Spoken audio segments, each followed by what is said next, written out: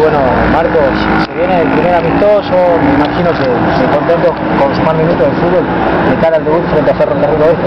Sí, contento porque bueno, se hizo una pretemporada dura, eh, bueno, se trabajó bien. Eh, mañana es el primer partido oficial, eh, para nosotros vamos a tomar de, de esa manera, así que tratando de llegar bien, eh, hoy se hizo un buen entrenamiento, así que, que contento por eso. ¿Te sentís bien con, con Juan Arraya, a pesar de que tienen quizás eh, afuera se ve las mismas características, hombres que van mucho al área?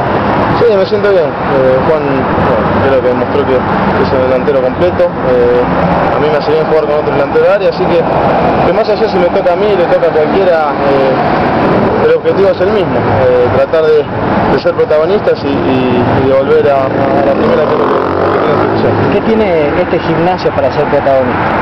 No, fue un equipo muy joven, creo que, el profe armó un equipo muy joven, muy rápido eh, y bueno, con ganas. Creo que de a poquito vamos encontrando el juego que queremos y, y bueno, esperemos que, que mañana eh, sea la primera prueba que, que es lo que queremos.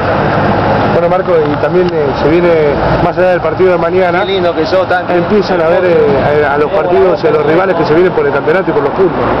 Sí, más allá de que bueno, el resto de los equipos ha hecho mucho más amistoso que nosotros, eh, mañana vamos a empezar eh, esta etapa eh, esperando de que bueno, empezarla de la mejor manera y que, que los rivales que, que nos toquen más adelante los podamos vencer. ¿El arrancar de local es eh, un punto a favor o porque el equipo es nuevo y falta un poco de rodaje futbolístico no, no es conveniente?